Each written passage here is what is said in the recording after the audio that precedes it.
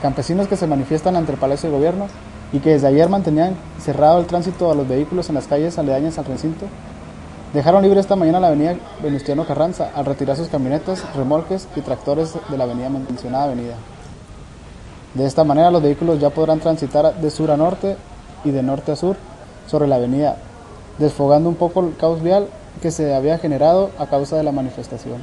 Por otra parte, se desconoce si se abrirán más calles en el transcurso del día. Solo es cuestión de que Servicios Públicos Municipales haga trabajo de limpieza para que esta avenida sea abierta, lo que beneficiará a los usuarios, informó TV Diario.